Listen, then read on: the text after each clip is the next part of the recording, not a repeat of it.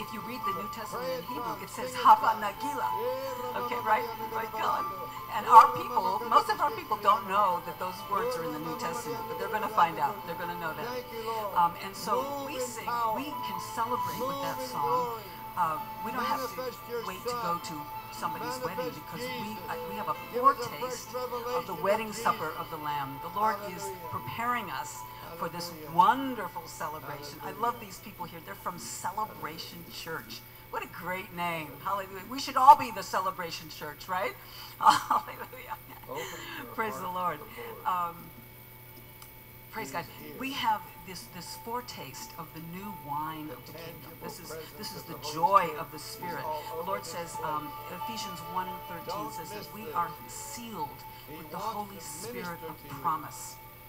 Hallelujah. And the Holy Spirit is what Yield to Him. releases the joy of the Lord within us. of your life. Uh, we're going to talk to more about that because the joy of the Lord is a very, very key element Yield it to in victory walking in victory in these the in these days. the eyes, the But the, intimate bridal relationship with the Lord is really foundational to anything that we are going to that the Lord has called us to to be released into uh, those works that the Lord has ordained before the, the foundation of the earth for each of us. Um, it begins with that intimacy of the Lord. Um. I know my husband uh, David told us, told you a little bit about my testimony. He does a great job. He's heard it so many times. But I, I'll fill in maybe a couple more more of the details. Um, I was raised in a Jewish family in the United States, and um, I used to go. You know, we went to the synagogue every Shabbat.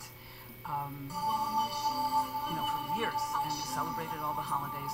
But I, I never experienced the reality of God in in the synagogue. And yet, I, you know, I was raised in music, and I was very sensitive to nature and beauty, and I knew there had to be some kind of creative force be, behind this.